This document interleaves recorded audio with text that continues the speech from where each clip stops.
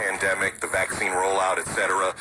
But how much of the uncertainty of the virus, uh, contact tracing, like what's happening with Joel Embiid and Ben Simmons today, that in particular, and then also as we move into the second half, how much does that keep you up at night? it literally keeps me up at night. Um, I mean, just by way of example, um, last night, you know, with Ben and Joel, you know, it was the middle of the night when the initial test result came back for the person who had the contact with them.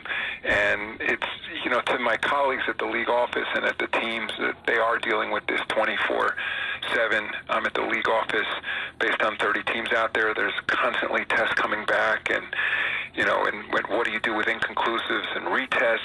I mean, it's an enormous operation. And it, it for everyone, who's part of this network of keeping the NBA going. It's it's just been an incredibly difficult year, but at the same time, we're buoyed by the fact number one, we have found a way to operate in a pandemic. First in the bubble, and now through this work, these work quarantine protocols, and also you said it perfectly. We see light at the end of the tunnel, and I think as we're now at the point where half of our teams have fans in their arenas. We're seeing a vaccine that, based on what experts were telling us a year ago, just you know, in, in late March of last year, it's a miracle that we have a vaccine at this point that is as effective as it is. Some were predicting it would take years, and the the administration seems to be doing a good job um, increasing the rollout. The acceptance of it is increasing um, across all communities and that's going to be important too for us to be fully back. But all those things seem to be coming together right now.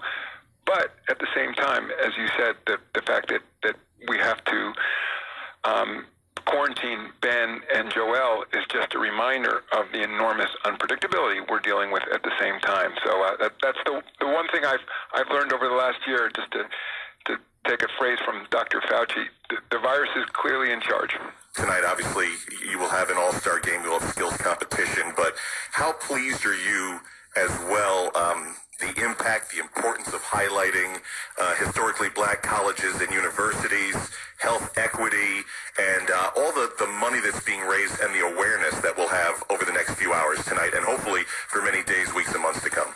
Well, thanks even for asking that, Mark. And, and from the very beginning of the pandemic, when we were thinking about returning to play, social justice was always at one of the issues on the table, and and no different than what we managed to do down in Orlando. And credit to the players and using their platform.